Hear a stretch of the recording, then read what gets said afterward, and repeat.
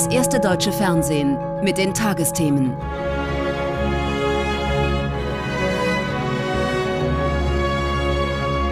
Heute im Studio Karen Mioska. Guten Abend. Alles bleibt, wie es ist. So scheint es nach den Wahlen in Rheinland-Pfalz und Baden-Württemberg. Malu Dreyer und Winfried Kretschmann dürfen weitermachen. Die Frage ist nur, mit wem? Dass in Rheinland-Pfalz weiterhin die Ampel aus SPD, Grünen und der FDP regieren kann, war den ganzen Wahlabend klar, zu den Hochrechnungen dort gleich. Doch was ist im Nachbarland, wo Wahlsieger Kretschmann mehrere Optionen hat? Macht er weiter mit einer CDU, die gerade das schlechteste Ergebnis ihrer Geschichte eingefahren hat? Oder wählt er eine Ampel? Oder reicht es sogar für Grün-Rot? Bevor Jörg Schönborn in unserem Stuttgarter Wahlstudio gleich die aktuellen Zahlen präsentiert, berichtet Julia Henninger über die Reaktionen in Baden-Württemberg. Statt Wahlparty drei Fäuste für den Wahlsieger. Zum dritten Mal haben es die Grünen geschafft und das im ursprünglichen Stammland der CDU. Nun hat er die Wahl, Winfried Kretschmann. Ja, jetzt wird sondiert. Ich spreche also mit CDU, SPD und FDP. Und dann wird man sehen, was diese Sondierungsgespräche ergeben. Der CDU bleibt da nur noch hoffen. Sie hat das historisch schlechteste Ergebnis eingefahren. Spitzenkandidatin Susanne Eisenmann übernimmt die Verantwortung. Die Maskenaffäre eher zweitrangig. Naja, sie hat sicher jetzt nicht geholfen. Das war jetzt nicht das, was man als äh, Rückenwind bezeichnet. Aber insgesamt, äh, im gesamten Wahlablauf war das jetzt in den letzten Tagen etwas, was sicher äh, bei den Wählerinnen und Wählern auch noch mal eine dementsprechende Stimmung ausgelöst hat. Aber jetzt auch nicht das alles Entscheidende. Bleibt es trotzdem bei Grün-Schwarz? Oder kommt die Ampel? Die FDP übt schon mal die Annäherung an die Grünen. Also zunächst mal darf ich vielleicht festhalten, dass die FDP der Gewinner des heutigen Abends ist. Wir haben das beste Wahlergebnis seit 1968, haben auch den höchsten Zugewinn aller Parteien. Und damit glaube ich schon, dass wir einen Regierungsauftrag haben. Die SPD kommt auch schon um die Ecke und ist zu einer Ampelkoalition bereit. Oder reicht es am Ende sogar für Grün-Rot? Die AfD hat Verluste einkassiert. Sicher ist, mit ihr will niemand koalieren. Für das Superwahljahr jedenfalls ein guter Start für die Grünen. Wir sind jetzt in den letzten Jahren immer weiter nach oben äh, geklettert. Und äh, gerade weil es so viel Veränderung brauchen wird nach dieser Corona-Pandemie, äh, treten wir an, im Bund eben diesen Auftrag dort auch in die Wege zu leiten. Um ihn buhlen sie nun alle Winfried Kretschmann. Er kann sich ganz in Ruhe aussuchen, mit wem er im Landtag weiter regieren will.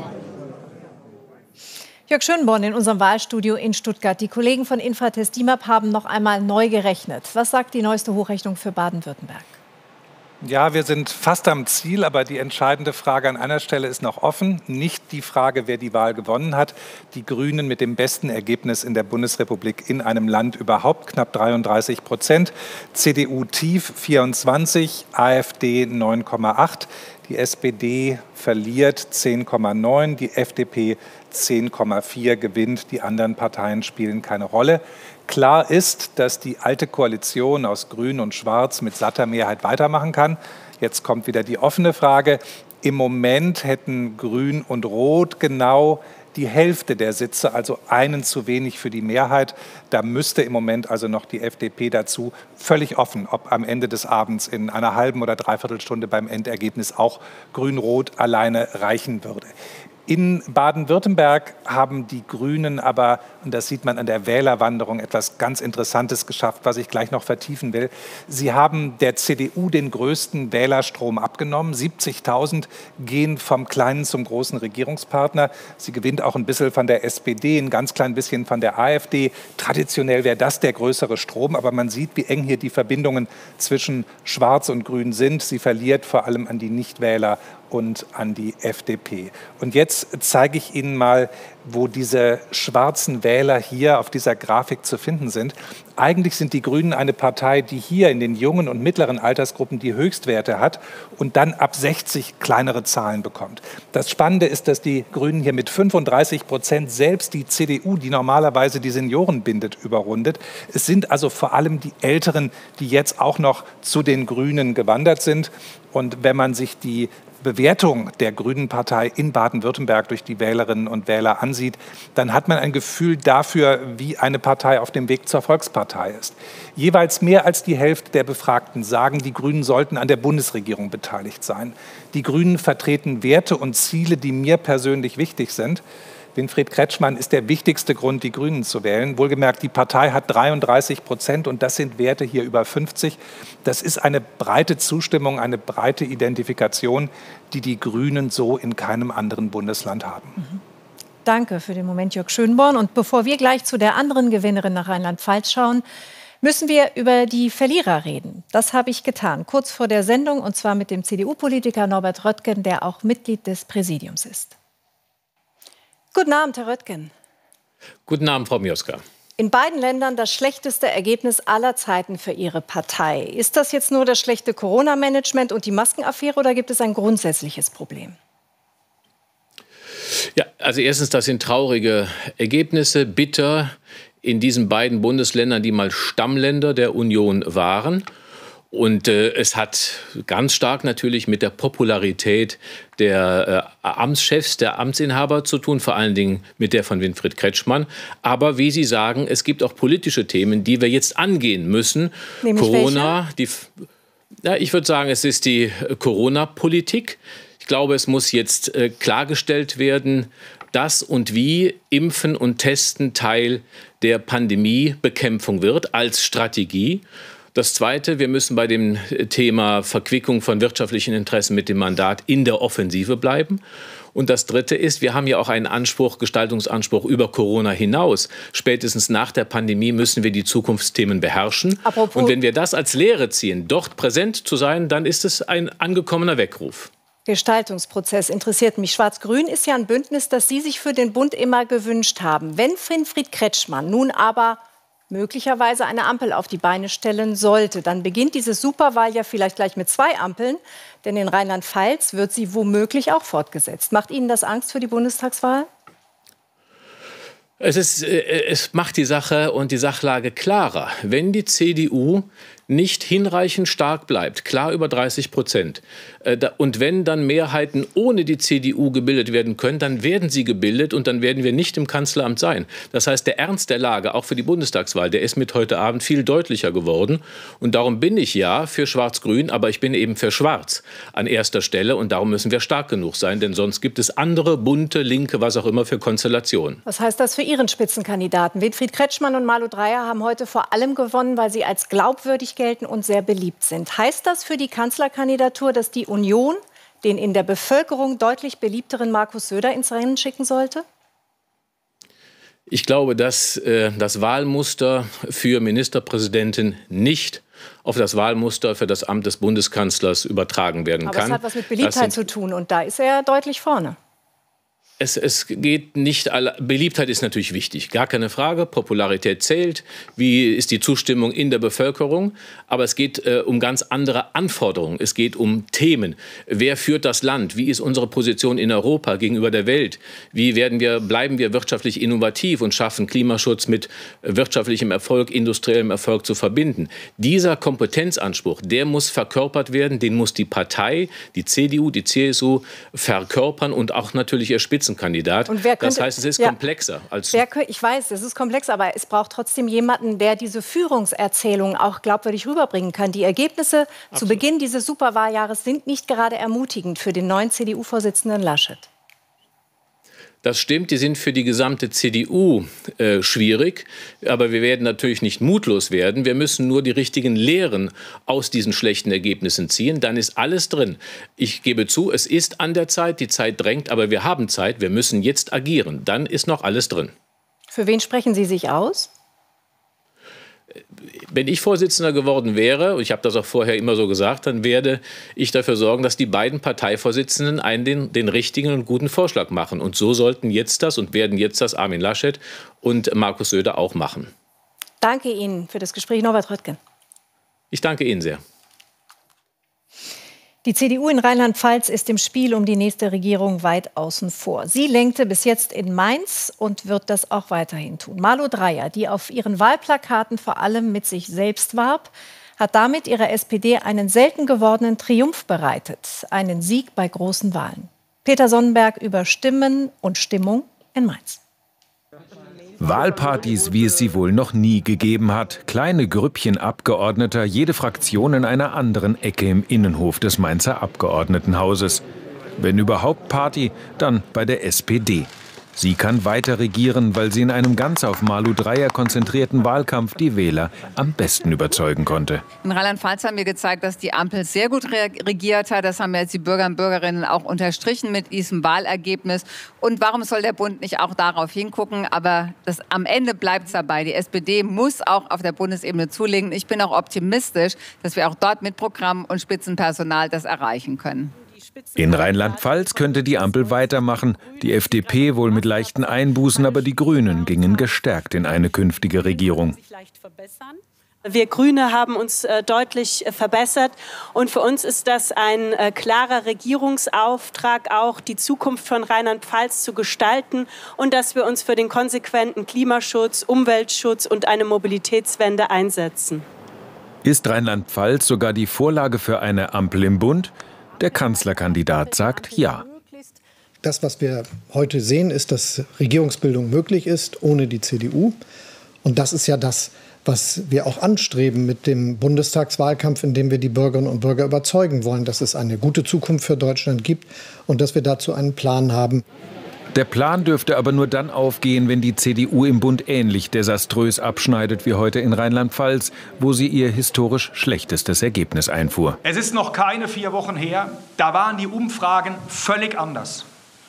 Und es kam natürlich einiges dazwischen, was uns keinen Rückenwind verpasst hat. Dass wegen Corona zwei Drittel der Wähler per Brief ihre Stimme abgegeben haben, könnte sich für die CDU sogar noch positiv ausgewirkt haben. Die in der vergangenen Woche bekannt gewordene sogenannte Maskenaffäre um Provisionen für Unionspolitiker konnte Briefwähler, die ihr Kreuz schon vorher gesetzt hatten, nicht mehr beeinflussen.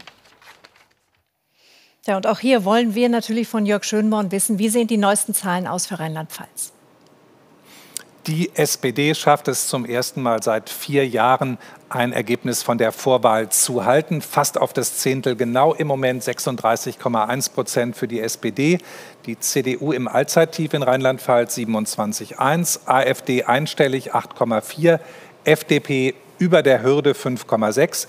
Die Grünen sind der größte Gewinner der im Regierungsbündnis befindlichen Parteien 9,4, Freie Wähler 5,2, knapper drin, als es über einen Teil des Abends schien. Die Ampelkoalition kann auf jeden Fall weiter regieren. Für Rot-Grün sieht es im Moment ja knapp aus. 51 Sitze wären dafür erforderlich. 50 sind es im Moment wahrscheinlicher, also dass die FDP weiterhin als Partner gebraucht wird. Das Interessante an der Entwicklung in Rheinland-Pfalz ist, dass die rote Kurve, also die Umfragekurve für die SPD, wirklich erst in den letzten Tagen den Knick nach oben nimmt. Und das hat, wie gerade gesagt, natürlich ein bisschen mit der Maskenaffäre zu tun. CDU-Wähler sind vor allem zu Hause geblieben. Das hat sicherlich auch mit den Öffnungsbeschlüssen der Ministerpräsidentinnen zu tun. Malu Dreyer war ja eine Vorkämpferin in einem Land, das relativ geringe Inzidenzen hatte. Und man sieht, dass in der Frage, wer gut durch die Corona-Krise führt, sie in Rheinland-Pfalz die Nase vorn hat vor Merkel deutlich vor jemandem wie Spahn. Interessant ist aber, wenn wir uns die Wählerstruktur der SPD angucken, äh, dass etwas Ähnliches passiert ist wie bei den Grünen in Baden-Württemberg. Das hier sind die Altersgruppen und die Ergebnisse für die SPD in den verschiedenen Altersgruppen. Und wenn man dann nach ganz unten guckt, dann gibt es eine Gruppe, wo die SPD sogar deutlich gewonnen, nicht nur gehalten hat. Und das sind die über 70-Jährigen. Bei den Jungen klar verloren, bei den Alten klar gewonnen. Und das sind zu einem guten Teil, wie wir in der Wählerwanderung sind, sehen CDU-Wähler, die eben in Baden-Württemberg zu den Grünen und in Rheinland-Pfalz zur SPD gegangen sind. Ganz sicher wegen einer Figur, die ihnen Vertrauen eingeflößt hat. Mhm. Danke, Jörg Schönborn. Und ich begrüße die neue und alte Regierungschefin in Rheinland-Pfalz, Malu Dreyer. Guten Abend, Frau Dreyer. Guten Abend, Frau Mioska. Sie haben heute gewonnen. Klar, das ist toll, aber Ihre Partei, die SPD, die verliert an Zustimmung in allen sachpolitischen Themen. Das muss Sie wurmen. Nein, ich bin heute einfach nur glücklich und zufrieden, denn die SPD und ich als Spitzenkandidatin, wir haben heute wirklich einen fulminanten Wahlsieg nach Hause gebracht und ich bin unglaublich dankbar den Bürger und den Bürgerinnen, dass sie mir das Vertrauen wieder schenken. Und natürlich bleibt es weiterhin unsere Aufgabe, das Allerbeste zu tun. Und auch wir werden analysieren, was sind die Plus, was sind die Minuspunkte und wir haben immer das Bestreben, immer auch noch besser zu werden. Wenn wir heute lernen, Frau Dreier, dass die starke Führungspersönlichkeit, wie Sie eine sind, eine wirklich entscheidende Rolle gespielt hat für die Wähler. Was heißt das dann eigentlich für die schwächelnde SPD im Bund und ihren Spitzenkandidaten Olaf Scholz? Das heißt im Moment gar nicht viel, denn wenn Sie ein paar Wochen zurückschauen nach Rheinland-Pfalz, da sehen Sie auch, dass wir in den äh, Prognosen eigentlich weit hinter der CDU noch gelegen haben. Und wir haben erst in dem Moment, wo Bürger und Bürgerinnen dann auch verstanden haben oder realisiert haben, es geht jetzt wirklich um die Wahl hier in unserem Bundesland, dann hat sich das Ganze wirklich auch gedreht. Und ich bin sehr, sehr zuversichtlich, dass wenn klar ist, das Rennen in der Bundestagswahl ist eröffnet, wer soll in Zukunft die Bundesrepublik Deutschland führen, dann hat Olaf Scholz als wirklich sehr, sehr guter Spitzenkandidat alle Chancen mit einer geschlossenen Partei und einem großen fortschrittlichen Programm. Im Moment krepelt die SPD aber schon eigentlich mittlerweile seit zwei Jahren bei 15, 16, 17 Prozent rum. Der CDU-Generalsekretär Paul Ziemiak sagt heute über die SPD, sie sei jetzt eine ehemalige Volkspartei. Hat er nicht recht? Nee, mich wundert, dass ausgerechnet der CDU-Generalsekretär heute etwas über die SPD sagt. Ich bin vollkommen klar an dieser Stelle. Die SPD versteht sich inhaltlich als Volkspartei. Und deshalb ist es unsere Aufgabe, dann auch wieder an Stärke zu gewinnen, was die Wahlstimmen betrifft. Wir werden mit großem, mit wirklich einem guten Programm, mit einer geschlossenen Partei, einem sehr guten Spitzenkandidaten dann auch werben um das Vertrauen. Heute freuen wir uns als SPD über diesen Wahlsieg in Rheinland-Pfalz. Aber wenn die SPD nicht entscheidend zulegt, dann wird sie maximal als Junior Partner mitregieren können im Bund. Bei Ihnen in Rheinland-Pfalz wollen alle Partner die Ampel fortsetzen. Und mit der regieren Sie ja auch schon erfolgreich. Können Sie die auch für den Bund empfehlen? Ich finde, wir haben sehr gut regiert die letzten fünf Jahre in dieser Ampelkoalition. Und äh, natürlich könnte das auch ein Modell sein. Aber es gilt eigentlich bei allen Wahlen, und das war auch immer meine äh, Herangehensweise, es geht darum, dass die SPD stark wird. Und das muss sie auf Bundesebene auch schaffen. Ich bin zuversichtlich, dass man es mit gemeinsamer Kraft auch schaffen kann. Und danach stellt sich dann die Frage, wer können Koalitionspartner sein. Und bei uns hier im Land ist es Gott sei Dank so, dass die alte Ampel auch wieder eine neue Ampel werden kann. Aber ich muss noch mal nachfragen, wenn Sie regieren wollen, dann auch unter grüner Führung? Naja, wir haben ja ganz klar den Anspruch, dass wir als SPD führen. Das ist ja vollkommen klar. Und mit diesem Anspruch treten wir der, bei der Bundestagswaal auch an. Also nichts Aber anderes nicht planen klappt? wir, sondern wir wollen stärkste Partei werden. Das ist eine Frage, die müssen wir heute nicht besprechen, Frau Mioska.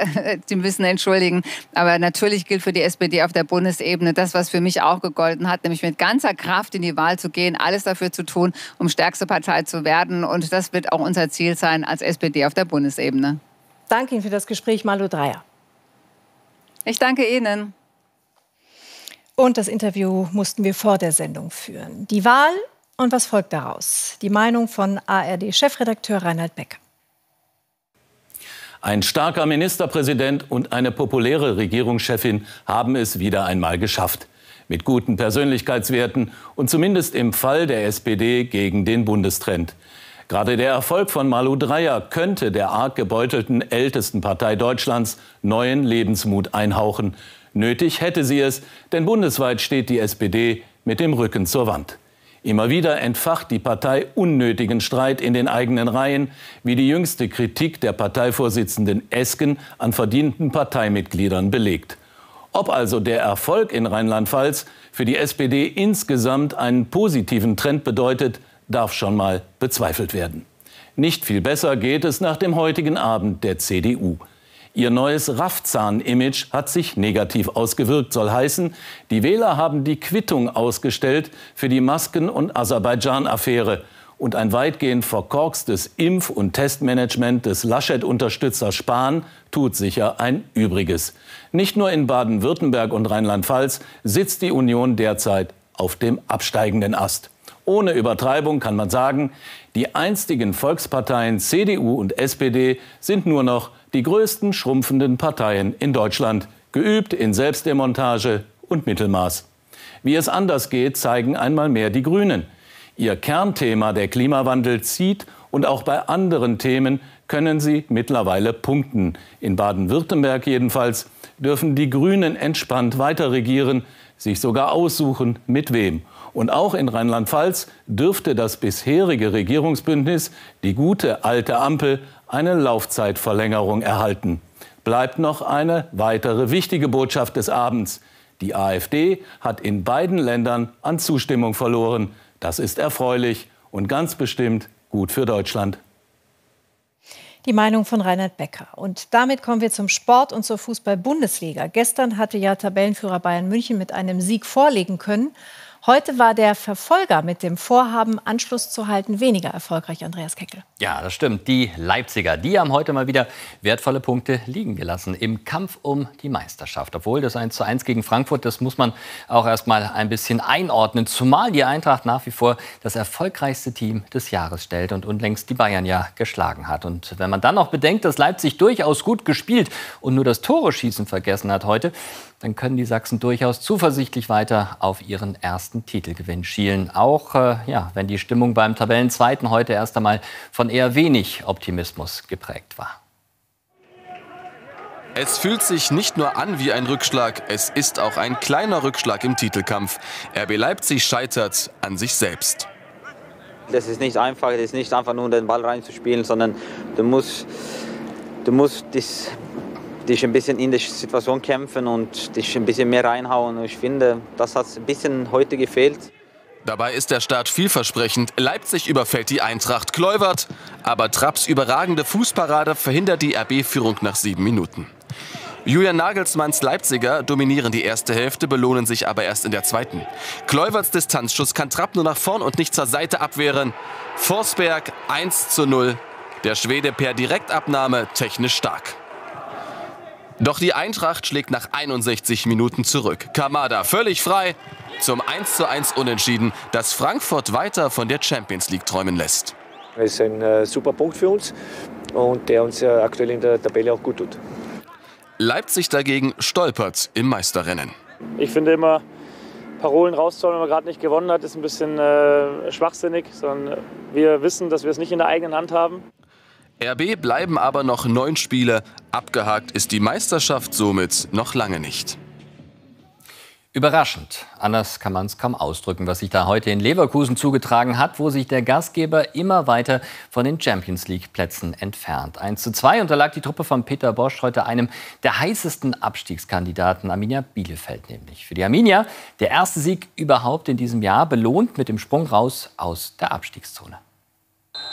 So sieht's aus, wenn man im Tabellenkeller einen Überraschungssieg holt. Die Arminia ist wieder da und springt nach dem ersten Sieg des neuen Trainers auf einen Nicht-Abstiegsplatz. Was hatte Bielefeld heute Bayer Leverkusen voraus? Warum haben sie gewonnen? Ja, alle gemeinsam. Ja, laufen, kämpfen, ja, das ist alles. Und das reicht gegen Leverkusens Schönspielerei. Defensiver Einsatz und Torwart Ortega zeichnen Bielefelds Ausflug an den Rhein heute aus. Nach vorne sind die Ostwestfalen von Beginn an interessiert an schnellem, unkomplizierten Fußball und gehen nach einer guten Viertelstunde nach Vorlage von Christian Gebauer durch Rizzo Duan in Führung. In der zweiten Halbzeit ist es dann der eben gehörte Masaya Okugawa, der mit seinem ersten Bundesligator auf 0 zu 2 stellt. Der verdiente Lohn, Leverkusen frustriert. Herr Boss, Sie waren jetzt lange in der Kabine. Was haben Sie der Mannschaft gesagt? Heute nichts. Weil er sauer ist. Denn Leverkusen schießt nur noch das 1 zu 2 durch Patrick Schick. Zu wenig. Als es am Ende schnell gehen muss, verweigert dieser Balljunge Leverkusens Leon Bailey dann das Spielgerät. Leverkusen steht sich selbst im Weg. Während der Arminia ein Riesenüberraschungskuh gegen den Abstieg gelingt. Als Aufsteiger auf die internationale Bühne Warum eigentlich nicht, meint der VfB Stuttgart und hat nach dem 2 zu 0 gegen Hoffenheim gerade noch vier Punkte Rückstand auf die ja, eben gesehenen Leverkusen und damit auf einen internationalen Startplatz. Ein Höhenflug, den die Schwaben vor allem einem zu verdanken haben, der heute sogar einen legendären VfB-Rekord einstellen konnte. Sascha Kalajdzic hellwach. Der Österreicher knackt einen Rekord aus der Saison 95-96. Das Erfolgsrezept? Die Schnelligkeit von Silas Wamangituka und die Kaltschnäuzigkeit von Kalajdzic. Das 2 zu 0 in der 64. Minute. Kalajdzic trifft im siebten Spiel in Folge der Rekord von Freddy Bobic eingestellt. Ja, macht mich extrem stolz und glücklich, wenn ich sowas höre und mit, mit solchen Namen verbunden werde. Ähm, vor dem Spiel und während des Spiels ist mir das egal. Oder also ich, ich denke ja nicht dran, es wird halt nur von anderen Leuten aufge, aufgepusht. Aber natürlich ist es wunderschön, dass, es, dass ich, dass ich ähm, ja, re regelmäßig treffen darf. Auch beim 1:0 in der 15. Minute ist der 23-Jährige beteiligt. Wieder geht's über Silas Wamangituka und der Hoffenheimer Adams mit einem Geschenk für den VfB. Silas hat mich super gefunden, hat mich ein paar Mal versucht zu finden. Und das erste Tor war, war ja fast, fast war ähnlich. Ähm, Habe ihn halt nicht erwischt, aber drin ist er und das reicht. Das reicht dem VfB, weil Gregor Kobel die wenigen Chancen der Hoffenheimer glänzend pariert. Der VfB Stuttgart ist nun seit fünf Spielen ungeschlagen, auch dank Sascha Kalajdzic. Ja, das ist die Tabelle nach dem 25. Spieltag. Die Bayern weiter vorne, vier Punkte dahinter. Leipzig, Wolfsburg bleibt Dritter vor Frankfurt und Dortmund. Leverkusen auf Rang 6. Gladbach folgt auf 10 vor Hoffenheim. Bielefeld hat die Abstiegszone verlassen, da jetzt Hertha WSC, Mainz und Schlusslicht Schalke.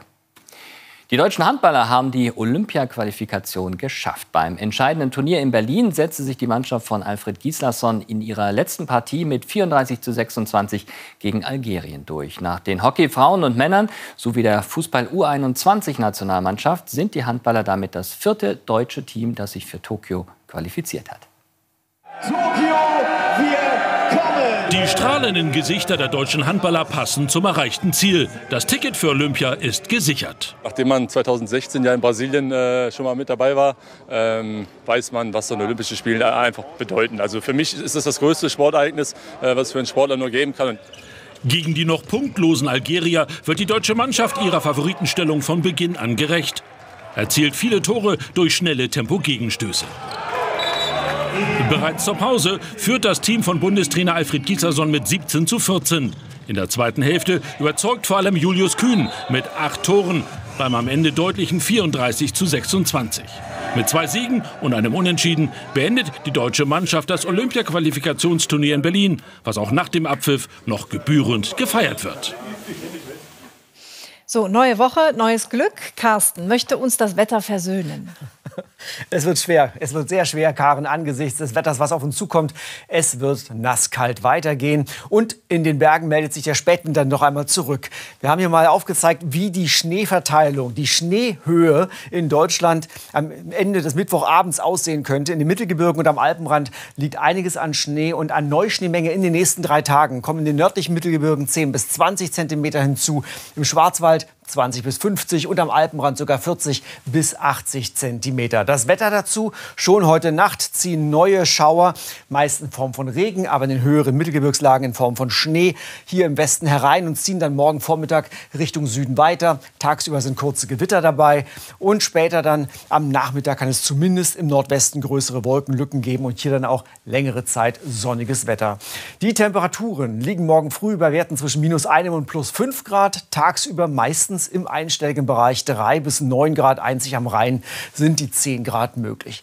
Wechselhaft, viele Wolken, kaum Sonnenschein. So geht es auch am Dienstag und Mittwoch weiter. Wobei zumindest in der Nordhälfte eine kleine Wetterberuhigung festzustellen ist. Hier bleibt es meistens trocken. Am Alpenrand hingegen wird es an beiden Tagen weiter schneien. Es sind also zumindest gute Aussichten für alle Menschen, die sich über den Schnee freuen.